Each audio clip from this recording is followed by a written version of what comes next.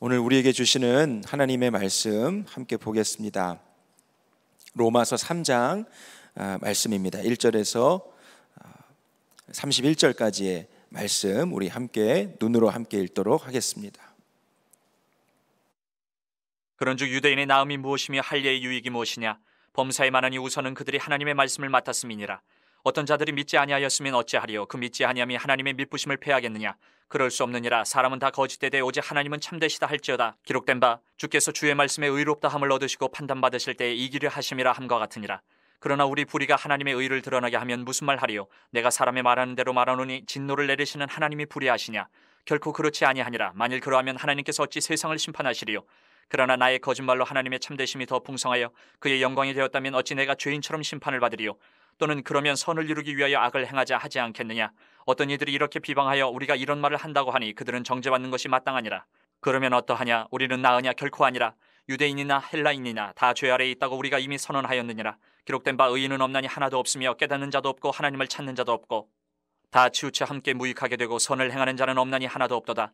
그들의 목구멍은 열린 무덤이요 그 혀로는 속임을 일삼으며 그 입술에는 독사의 독이 있고 그 입에는 저주와 악독이 가득하고 그 발은 피 흘리는데 빠른지라 파멸과 고생이 그 길에 있어 평강의 길을 알지 못하였고 그들의 눈앞에 하나님을 두려워함이 없느니라 함과 같으니라. 우리가 알거니와 물은 율법이 말하는 바는 율법 아래에 있는 자들에게 말하는 것이니 이는 모든 입을 막고 온 세상으로 하나님의 심판 아래에 있게 하려 함이라. 그러므로 율법의 행위로 그의 앞에 의롭다 하심을 얻을 육체가 없나니 율법으로는 죄를 깨달음이니라. 이제는 율법 외에 하나님의 한 의가 나타났으니 율법과 선지자들에게 증거를 받은 것이라. 곧 예수 그리스도를 믿음으로 말미암아 모든 믿는 자에게 미치는 하나님의 의인이 차별이 없느니라 모든 사람이 죄를 범하였음에 하나님의 영광에 이르지 못하더니 그리스도 예수 안에 있는 속량으로 말미암아 하나님의 은혜로 값없이 의롭다 하심을 얻은 자 되었느니라 이 예수를 하나님이 그의 피로써 믿음으로 말미암는 화목제물로 세우셨으니 이는 하나님께서 길이 참으시는 중에 전에 지은 죄를 간과하심으로 자기의 의로우심을 나타내려 하심이니 곧 이때에 자기의 의로우심을 나타내사 자기도 의로우시며 또한 예수 믿는 자를 의롭다 하려 하심이라. 그런즉 자랑할 때가 어디냐? 있을 수가 없느니라. 무슨 법으로냐? 행위로냐? 아니라 오직 믿음의 법으로니라. 그러므로 사람이 의롭다 하심을 얻는 것은 율법의 행위에 있지 않고 믿음으로 되는 줄 우리가 인정하노라. 하나님은 다만 유대인의 하나님이시냐? 또한 이방인의 하나님은 아니시냐? 진실로 이방인의 하나님도 되시느니라 할례자도 믿음으로 말미암아 또한 무할례자도 믿음으로 말미암아 의롭다 하실 하나님은 한 분이시니라. 그런즉 우리가 믿음으로 말미암아 율법을 파괴하느냐 그럴 수 없느니라. 도리어 율법을 굳게 세우느니라. 아멘. 하나님의 말씀입니다. 그 제자 훈련 어, 강사를 맡아서 성도님들과 함께 이렇게 제자 훈련 하다 보면 아, 꼭 질문 드리는 게 있습니다. 내가 정말 지옥에 갈 수밖에 없는 죄인이라는 것이 깨달아지십니까? 아, 그런데 어, 의외로 많은 성도님들이 내가 그렇게 지옥에 갈 만한 죄인이라는 것이 그렇게 피부에 와닿을 만큼 그렇게 체감될 만큼 잘 느껴지고 그렇게 믿어지지는 않습니다 하시는 분들이 꽤 많습니다.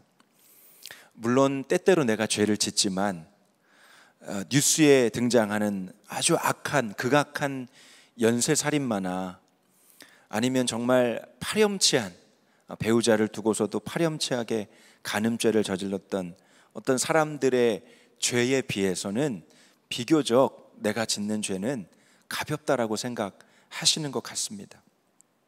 내가 짓는 죄는 용서받을 만한 죄가 아닌가 이런 생각을 하시는 분들도 계신 것 같아요. 이것은 우리가 죄인이라는 사실을 하나님의 말씀이 우리에게 직시하고 또 우리에게 아, 너무나 명확하게 말씀하시는 진리를 분명하게 이해하지 못하는 이야기입니다. 주님은 성경을 통하여 분명히 말씀하셨어요. 죄의 삭은 사망이니라. 심각하게 느껴지는 죄이든 혹은 내 느낌으로는 이 죄는 좀 가볍게 여겨지는 죄이든 여러분 그 죄의 결과는 동일하다라고 성경은 말씀합니다.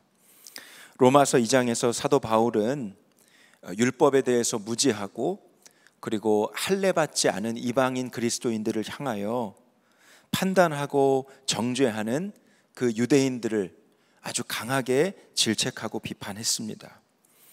유대인들도 이방인들도 하나님 앞에서는 다 똑같은 심판을 받게 될 것이라는 말씀을 하셨죠. 그러자 사도 바울의 권면을 듣고 유대인들이 깊은 회개 가운데 나아가는 것이 아니라 오히려 더 큰 반감을 가지고 자신들의 의로움을 주장하는 유대인 그리스도인들이 있었던 것 같습니다. 오늘 3장에 와서 사도 바울이 그 유대인들을 향하여 어, 더 강한 책망과 권고가 이어지고 있어요. 1절부터 8절까지는 자신들의 의로움을 끝까지 놓지 않는 그 유대인들이 사도 바울을 향하여 던지는 세 가지 질문에 대한 내용이 담겨져 있습니다. 세 가지 질문을 바울에게 물어요. 정리를 하면 이런 내용입니다. 첫 번째는 아니 우리들에게 죄가 있다라고 하는데 그렇다면 하나님이 우리를 선택한 민족, 선민으로 삼아 주셨다라고 하는 어떤 보다 나은 것이 무엇이냐? 다른 사람들에 비해서 그렇다면 우리가 우월하다라는 것이 무엇이냐? 왜 하나님이 우리를 선택해 주셨으니까 뭐 하나라도 더 나은 점이 있지 않겠는가? 두 번째 질문은 이런 것입니다. 우리에게 죄가 발견된다면 선민으로 택하신 하나님 잘못이 아니냐. 우리에게 불의가 있고 거짓이 있고 죄가 있다라고 한다면 우리에게 무슨 책임이 있느냐? 그런 우리들을 선택하신 하나님께 책임이 있는 것이지. 아, 하나님이 불의하신 분 아니겠는가? 세 번째는 또 이런 질문을 해요.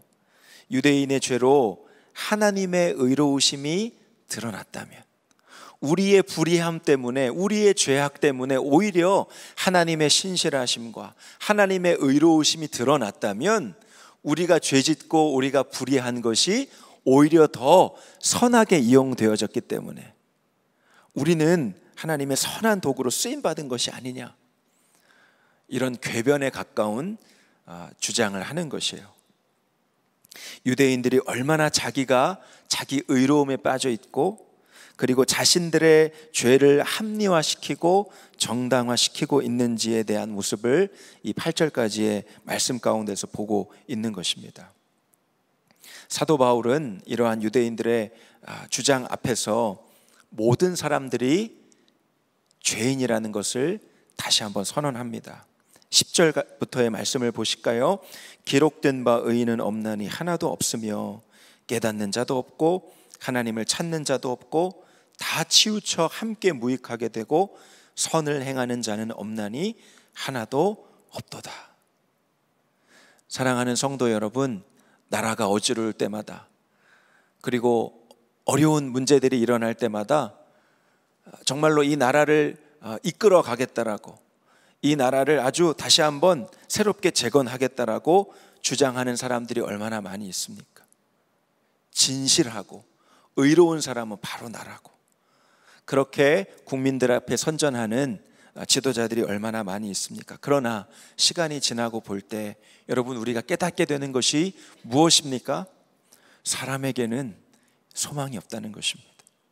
그 어떤 사람에게도 진정한 의로움, 정말 진실함, 그리고 하나님을 닮은 거룩함 찾아볼 수 있는 사람이 없다라는 것이죠. 그것이 우리의 마음을 얼마나 절망스럽게 합니까?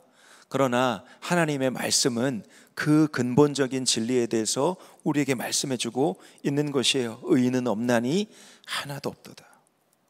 13절부터 17절까지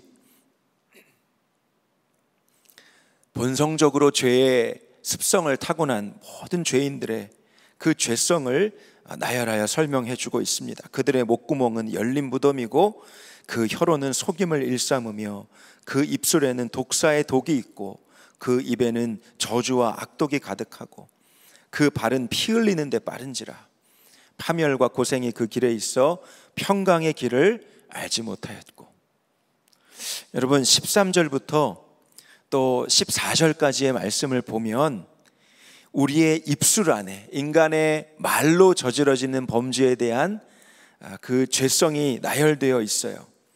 열린 무덤, 우리의 목구멍은 열린 무덤이라. 아, 이스라엘 아, 민족 안에 아, 치러지는 장례는 큰 돌무덤입니다. 아주 무거운 그 돌마개를 그 동굴 속에 막아놓는 것이 그것이 무덤이에요. 그런데 여러분 그 돌마개가 시체를 담은 돌마개가 열려졌다라고 생각해 보십시오.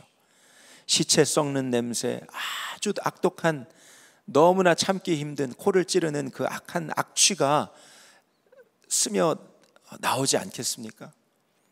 우리의 목구멍이 마치 그와 같다는 것입니다. 속임을 말하고 독사의 독이 있고 우리 입에 그리고 저주와 악독이 가득하다. 우리의 말은 우리 마음의 중심을 나타내 주는 것입니다. 우리 마음의 중심에 담겨져 있는 것이 밖으로 드러나고 표출되는 결과물이 바로 말인 것이죠.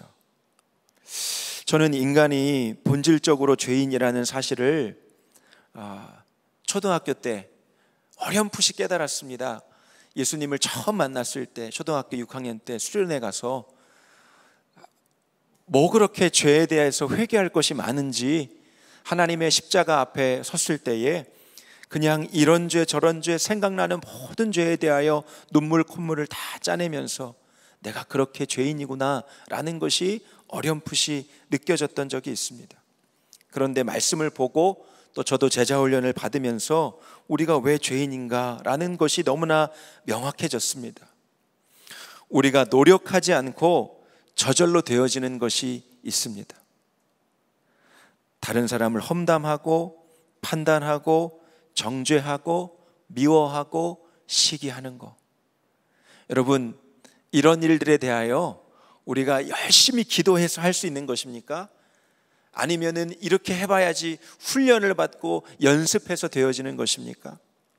그런 노력과 연습이 필요 없이 저절로 우리 안에 그런 것이 되어지죠. 모이면 다른 사람 험담하고 왜 그렇게 판단하기를 좋아하는지, 왜 그렇게 미워하는 마음은 저절로 일어나는지, 어느 때나 일어나는지, 이런 것은 너무나 쉽습니다. 배우거나 노력하지 않아도 되어지는 일들이에요. 그러나 누군가를 사랑하는 거, 용서하는 거, 나보다 다른 사람을 더 귀하게 여기는 거, 내, 나의 성공보다 다른 사람들의 성공을 더 칭찬해주고 응원해주고 격려해주는 거, 여러분 이것이 아주 저절로 되어지십니까? 그것이 너무나 기쁨으로 자동적으로 표출되는 반응입니까? 여러분 그렇지 않습니다. 우리의 마음이 정말 바뀌어지지 않고 어떤 다른 힘에 의해서 영향력에 의해서 우리의 마음이 다스려지지 않으면 절대로 우리 본성 스스로 나올 수 없는 행동들인 것이에요. 여러분 무엇입니까? 우리의 본질 자체가 죄성으로 가득한 존재라는 것입니다. 인간이 이렇게 본질적으로 죄인인 것은 하나님을 알지 못하기 때문이고 하나님을 두려워하지 않기 때문이라고 바울은 말합니다. 18절 말씀에 그들의 눈 앞에 하나님을 두려워함이 없느니라. 하나님을 두려워하지 않는 것이 죄의 본질인 것입니다. 이 말은 하나님과의 관계가 끊어져 있다라는 것을 의미합니다. 하나님과의 관계가 끊어져 있기 때문에 하나님을 모를 수밖에 없고 하나님을 모르니까 하나님을 두려워할 수도 없는 것입니다. 그러므로 사랑하는 성도 여러분, 오늘 이 말씀을 통하여 우리가 결론 지을 수 있는 진리가 무엇입니까? 우리 안에는 우리 스스로 구원받을 수 있는 단 1%의 가능성도 없다는 것입니다. 죄로 인해서 죽을 수밖에 없는 존재였습니다. 그 죄가 얼마나 큰 것인지, 얼마나 심각한 것인지 깨달을 수도 없습니다. 하나님을 알 수도 없고, 하나님을 알아도 하나님과 관계할 수 없었던 것이 바로 본질적으로 죄인된 우리들의 모습이었다는 것입니다. 그러므로 구원은 철저하게 하나님께서 인간에게 베풀어 주시는 하나님의 긍휼과 은혜인 것입니다. 그 은혜 중에 가장 놀라운 것이 어떤 은혜입니까? 내가 얼마나 죄인인가? 내가 지옥불에 떨어질 수밖에 없는 정말 처절한 죄인, 그 본질 자체, 그것이 바로 나이구나 라는 것을 깨닫는 것입니다. 내가 죄인인 것을 자각하고 인정하는 것은 너무나 고통스럽고 수치스러운 일입니다. 그러나 구원은 바로 여기에서 시작되는 것입니다. 지금 문정동에 동부구치소가 있는데 예전에는 그 동부구치소가 저 가락동에 아, 성동구치소에 있었습니다. 그때 저희 아, 목사님들이 한 달에 한 번씩 그 성동구치소를 방문해서 어, 그 수감원들과 함께 예배드리는 일들을 했던 적이 있습니다. 예배를 드리고 나서 수감되어 계신 분들을 위하여 어, 뒤에서 한 분 한 분 안수 기도를 해드립니다. 하나같이 어- 어쩜 그렇게 사연이 딱한지요. 갖가지 사연을 가지고 오셨어요. 목사님 재판을 잘 받아서 어, 형량이 최대한 감량되거나 아니면 무죄 판결을 받게 해달라고 이 억울함을 좀 벗어나게 해달라고 그렇게 안타깝게 기도를 요청하시는 부- 분들이 대부분이었습니다. 그런데 제 기억 속에 아직도 잊혀지지 않은 한 자매가 있어요. 정말 20대 초반에 거의 이제 갓 성인을 넘은 자매 같아요. 얼핏 보기에도 중학생, 고등학생처럼 보이는 자매입니다. 고개를 푹 숙이고 기도를 받으시러 앞으로 나오셨어요. 자매님, 무엇을 위해서 기도해 드릴까요? 한동안 아무 말도 없이 고개를 숙이고 닭똥 같은 눈물을 툭툭툭툭 떨어뜨리기 시작합니다. 그리고 떨리는 목소리로 이렇게 말하는 거예요. 목사님, 사람을 죽였어요. 자매님, 무엇을 위해서 기도해 드릴까요? 어떻게 기도해 드릴까요? 한참을 또 아무 말 없이 있다가 목사님, 그냥 기도해 주세요. 무슨 뭔가를 희망하거나 소망하는 것이 하나도 그 마음 가운데 느껴지지 않는 것이에요. 내가 사람을 죽였는데 내가 무엇을 희망할 수 있을까? 내가 무엇을 소망할 수 있을까? 아무 기도 제목도 없어요라고 저한테 말하는 것 같았어요. 그냥 기도해 주세요. 그 모습을 보는데 저는 그 모습이 예수 그리스도를 알기 전에 나의 모습, 예수 그리스도를 알지 못하는 모든 사람들의 모습이라는 것이 깨달아졌습니다. 그 무엇도 우리를 이 본질적인 죄성으로부터 벗어나게 할 수 없습니다.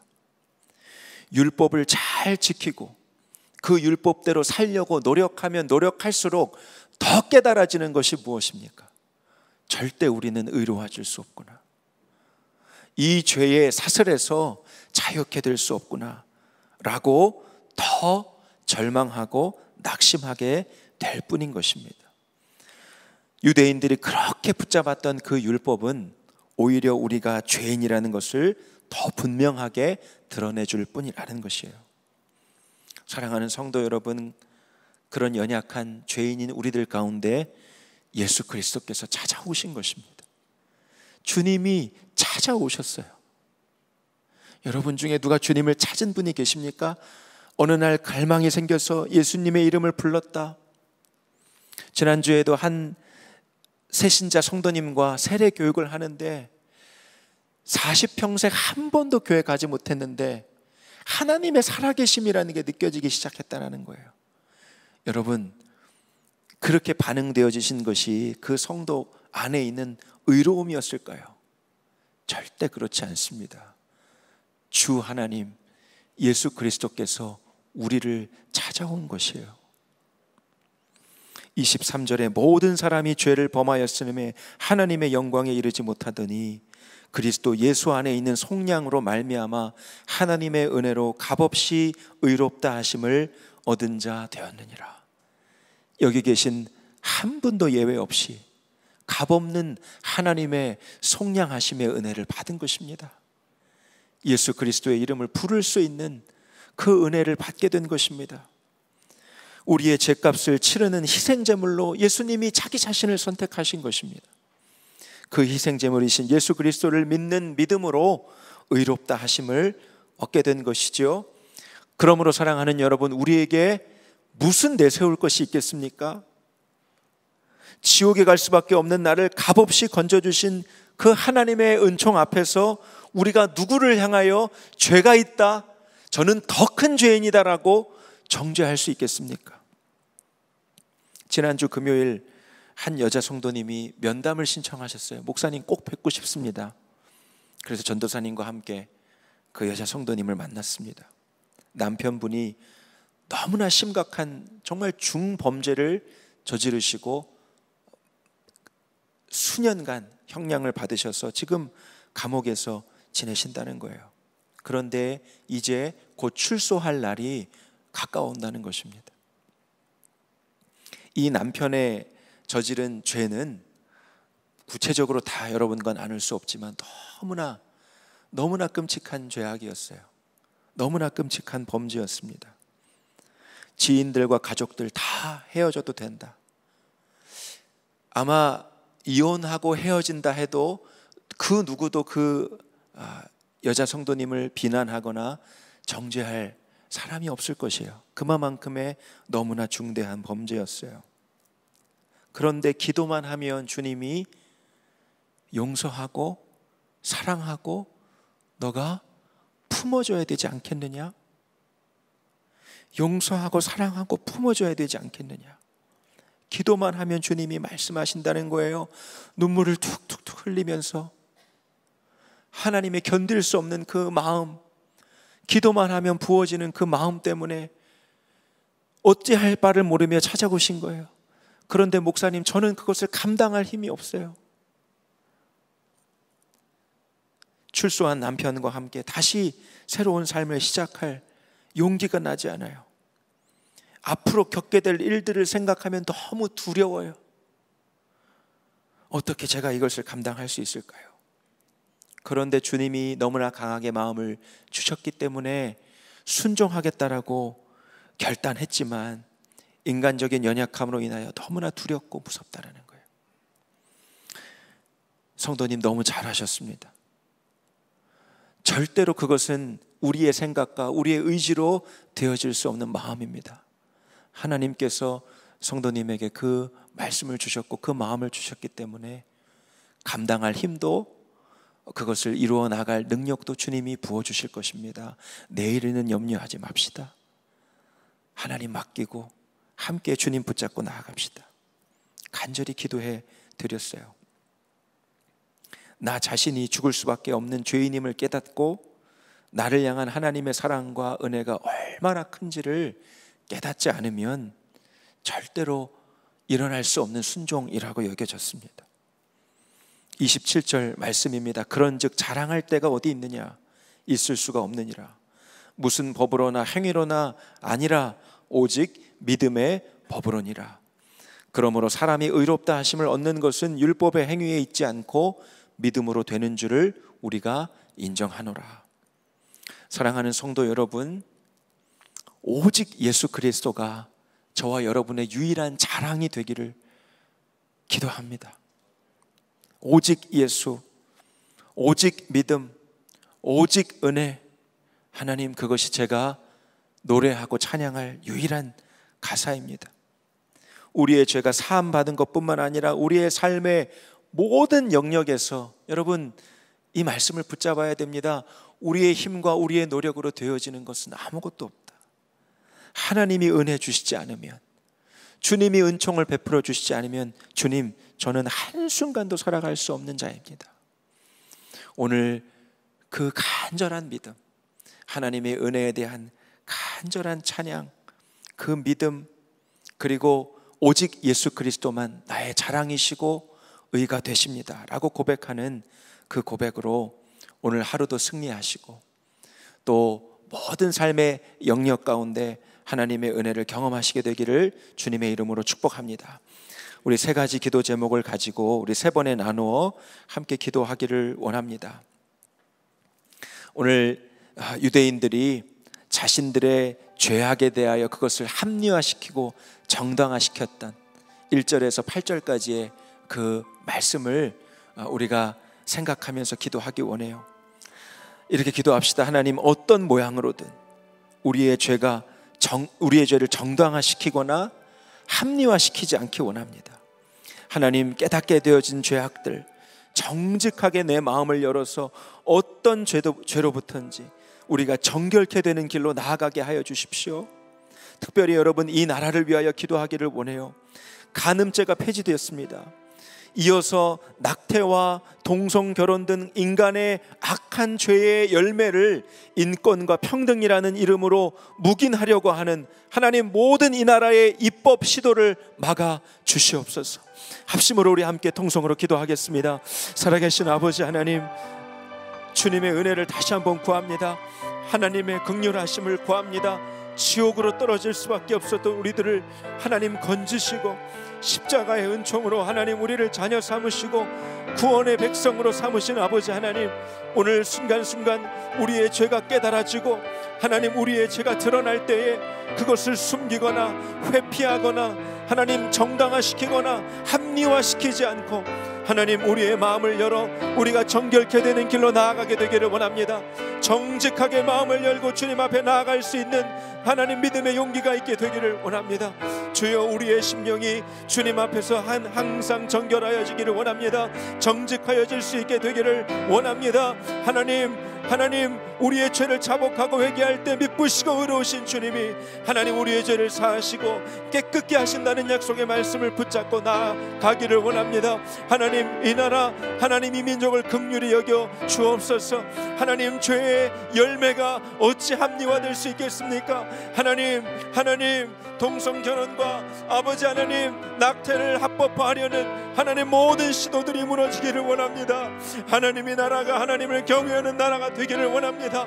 하나님의 성도들이 정결함으로 설 수 있게 하여 주십시오. 우리의 삶의 모든 현장 가운데 정결함으로 우리가 설 수 있게 하여 주십시오. 그리스도의 진리의 빛을 나타내는 거룩한 하나님의 사람들로 세워질 수 있게 하여 주십시오. 법을 제정하고 다스리는 자들 가운데에 하나님 하나님 그들의 심령을 붙드시고 하나님 그들의 결정 가운데 주님이 개입하시고 하나님 이 나라가 하나님의 법을 경외하는 나라로 그렇게 세워질 수 있도록 주님 은혜를 더하여 주시옵소서. 의인은 없나니 하나도 없다라고 말씀하셨습니다. 사랑하는 성도 여러분, 혹 사람에게 기대를 두거나 소망을 두었던 적은 없습니까? 나 자신에게 기대를 두거나 그 어떤 사람에게 소망을 두었던 거 하나님 주님 앞에 다 내려놓기 원합니다. 정말 오직 하나님만 의지하는 믿음이 나의 믿음이 되기를 원합니다. 하나님 이 나라의 민족 가운데 하나님을 경외하는 지도자가 세워지기를 원합니다. 스스로 의롭다 하는 자가 아니라 정말 요시아처럼 다니엘처럼 요셉과 같은 하나님을 경외하는 사람들이 이 나라에 또한 지도자로 세워지게 하여 주시옵소서. 주의 이름을 한번 부르시고 합심하여 기도하겠습니다. 주여 오 하나님 아버지 하나님 아버지 주님을 의지합니다. 주님을 바라봅니다. 하나님 도울 힘이 없는 인생을 의지하였던 하나님 연약한 믿음을 주님 회개합니다. 하나님 나 자신이 스스로 의롭다고 스스로 속이진 않았습니까? 하나님 아버지 우리의 이 연약한 믿음을 주님 앞에 내려놓습니다. 도울 힘이 없는 인생 그 어떤 사람에게 기대와 소망을 두었던 거 주님 주님 다 내려놓기를 원합니다. 오직 나의 도움이시며 생명이시며 하나님 우리의 나아 갈 길이 되시는 주 하나님만 의지하고 주 하나님만 붙잡고 하나님만 의지하는 우리의 믿음이 되게 하여 주옵소서. 하나님만 의지하는 믿음이 되게 하여 주옵소서. 주님만 붙잡는 믿음이 되게 하여 주시옵소서. 주님만 바라보는 믿음이 우리 안에 있게 하여 주시옵소서. 하나님 스스로 의롭다는 한 자가 아니요 이 나라의 민족 가운데 하나님을 경외하는 주의 거룩한 백성들이 세워지기를 원합니다. 다니엘과 같은 하나님의 사람들이 세워지게 하여 주십시오. 요셉과 같은 사람 사람들이 세워지게 하여 주십시오. 하나님, 하나님 주님을 경외하는 하나님의 사람들이 주여 지도자로 세워지는 애가 있게 되기를 원합니다. 하나님이 나라 하나님을 경외하는 거룩한 지도자들이 세워지는 하나님 그 은혜가 있게 되기를 원합니다. 다스려 주옵소서, 통치하여 주옵소서, 성령 하나님 역사하여 주옵소서. 오 할렐루야 주님, 주님 이 나라의 진정한 주인 되시고 하나님 이 나라의 진정한 소망 되신 주님, 하나님 그 주님을 붙잡고 하나님 모든 하나님 영역 가운데 하나님 주님의 거룩 하심을 드러내는 하나님 리더들이 지도자들이 행정가들이 세워지도록 하나님 역사하여 주옵소서. 긍휼을 베풀어 주옵소서. 은혜를 더하여 주옵소서. 우리 마지막으로 기도하겠습니다. 그런즉 자랑할 때가 어디 있느냐? 있을 수 없느니라. 오직 예수 그리스도가 나의 자랑인 것을 날마다 고백하고 증거하게 하여 주시옵소서 우리 주변에 죄의 짐을 지고 살아가는 사람들이 너무 많습니다.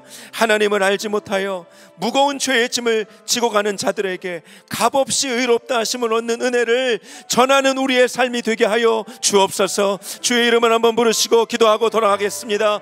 주여 오 할렐루야 하나님 아버지 은혜와 사랑을 감사합니다 오늘도 하나님 주님의 놀라운 은혜의 초청 앞에 우리를 불러주셔서 감사합니다 무한하신 하나님의 은총과 은혜 가운데 우리를 불러주셔서 감사합니다.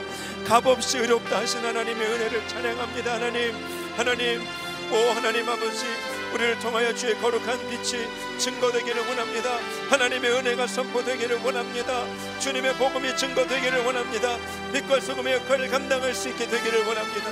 성령 하나님 오늘도 그리스도가 우리의 자랑 되시며 그리스도가 우리의 유일한 의가 되시며 그리스도가 하나님 우리의 유일한 찬송 되시며 그리스도가 우리가 유일하게 하나님 고백할 노래가 되시옵소서 오늘도 하나님 그 믿음으로 살게 하시고 우리 입술의 고백이 주님을 찬양하는 놀라운 은혜로 충만하고 놀라운 은혜로 가득한 오늘 이 새벽이 되도록 하나님 역사하소서.